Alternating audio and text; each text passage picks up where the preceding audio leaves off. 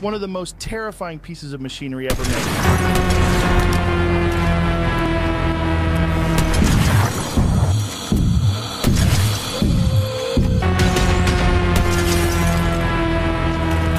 You will die. There's no question. You cannot beat this plane in a fair fight.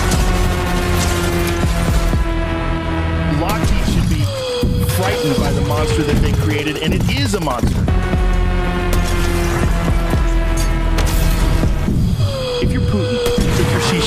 is your boogeyman.